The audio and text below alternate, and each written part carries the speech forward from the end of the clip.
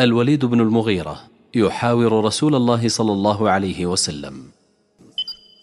حاور الوليد بن المغيرة رسول الله صلى الله عليه وسلم فقرأ عليه رسول الله صلى الله عليه وسلم القرآن فتأثر تأثرا كبيرا. رجع الوليد إلى قريش نصحهم باتباع رسول الله صلى الله عليه وسلم أو تركه يدعو في العرب فرفضوا رأيه. ووصف الوليد رسول الله صلى الله عليه وسلم بالساحر. نزلت في الوليد بن المغيرة آيات من سورة المدثر تبشره بالنار.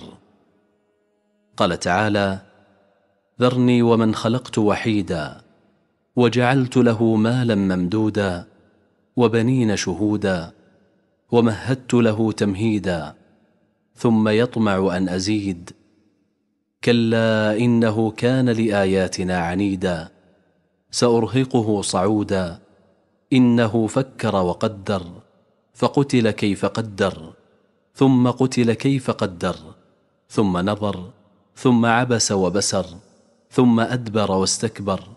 فقال إن هذا إلا سحر يؤثر إن هذا إلا قول البشر سأصليه سقر.